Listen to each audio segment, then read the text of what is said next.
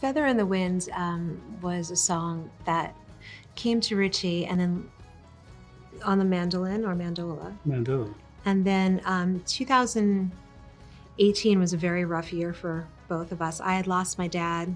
Mm. Ritchie lost his brother. Um, we, we both lost our cat of 16 years. It was a, a year of loss, and it was very intense and very, we were very distraught and very emotional. Mhm. Um, and we started to see signs. Um, I know that my dad had sent me a number of signs. One of them was wherever I was, I would see a feather. It could be in the house, it could be in my bedroom, it could be in the kitchen, feather on the floor. Like they would just show in the car, like they would show up in very, very strange times.